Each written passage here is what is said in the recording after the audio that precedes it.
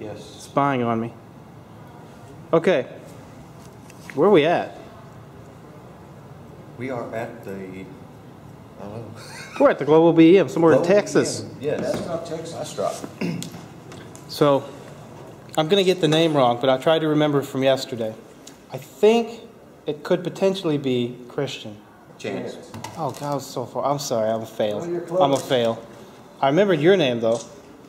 It's uh, it's uh, it's D, and then uh, and then I know I forgot. I know what it is, but University. yeah, I know. I'm I'm drawing a blank, but I know the name. Dean. That's right. Thank you. Because I did. I I can't. Yeah. I'm doing well. I'm doing really well with this shot. Hi, come on in. You need everybody? No, no, no.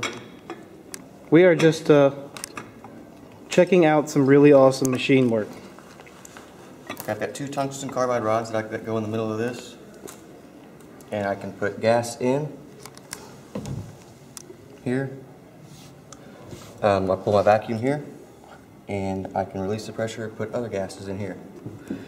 And I can put my electricity through here, and so it's not synced with the whole piece. And put different gases in there and play with the sparks and, And you can back your Use it rods for- in and out? Yes, that's- I can adjust the gap in there. These are Teflon, big nice insulator.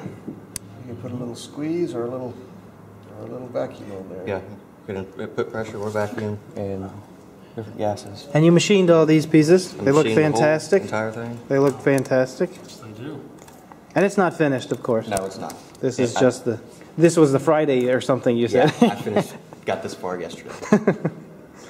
Are you gonna make sure that the, that this stays in this?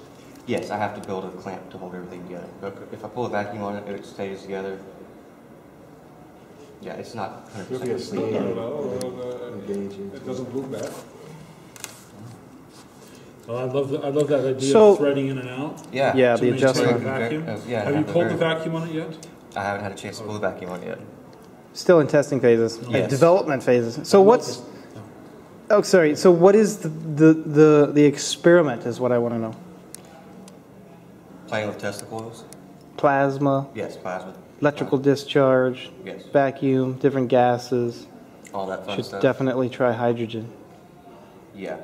Put some safety glasses on. What's the? You what's get a little air in there with that hydrogen, it's not so nice. Does it matter what this kind of material is? No, I've got, uh, I have tungsten carbide inserts to where it won't burn up this metal. Show them the, show them the, the insides of it, where you drilled out the, the points. Drilled out the points. Where the tips will fit in there. Show one of the tips. Yeah, set it down. It's good. Okay. Awesome. So the tungsten carbide is going to put in the middle, so it doesn't burn the regular steel up. But you could buy stainless threaded rod and any other type of brass or anything you want to put Yes, in there. Uh, I'm going to make So it out that's good. uh, aluminum bronze. This is when you're done, I had. I got it. So I'm making these out of aluminum bronze, so it's a little bit more conductive. Nice work. Yeah, that was really my question. Does it matter Conductivity. uh, that it works better, that it flows better? It- uh, yes, And it'll you're not using your, your, your typical. uh, Yes. And these are just end mills, but that's basically what it's gonna. These are just end mills. These oh aren't yeah, because you could exactly use what. you could that's use carbide. Yeah, I was going to say. I mean, think about using end mills for that stuff. Yeah. I have a lot of broken ones. What do you do? what do you do with the bits? Freaking electrodes. That's genius. That's resources right there. Nice work. Fair. Yeah, these are dull ones from work. Yep.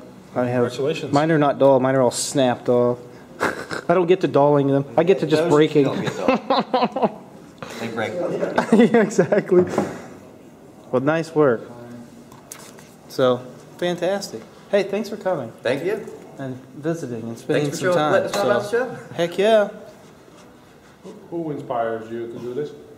That's a good question. I've been doing a whole lot of research recently, and this is kind of my idea. Uh-huh. But in I've but in general, a lot of stuff with vacuum chambers and stuff. in general, where do you get your inspiration? I do a lot of research on YouTube stuff, and then I've done a whole lot of research on Tesla. It's a good place to start. Still learn, always learn. Oh, I, I, I'll be learning the day I die. Yep. So, so a layman's question, if you have the process going inside, how are you gonna get it outside? Uh, uh, The, the effect uh, that is generating power, Well, I how can- how are you gonna hook that up? I, I think, let me try to answer this. I think this is more just for experimentation purposes Yes. of Okay. vacuums and gases, and like being able to visually see what's happening under an Oh, arc okay. Yes. in the environment that you- whatever you're going to use it So, with. so it's more like an educational tool? Yes. Well, That's great. And I can That's- try to use it that's for the smart best gap way. For the test Uh-huh. of oil too. Yeah, okay, yeah. That's a great idea, yeah. Yeah, that's the best way is build a teaching apparatus and play with it a lot. That's Yeah. much better than trying to make a finished product when you start. It's much easier to, to, to learn this way. So nice work. Thank you. You, Da, da, da, da. Way over Bill. You ready? I don't know the brain thought.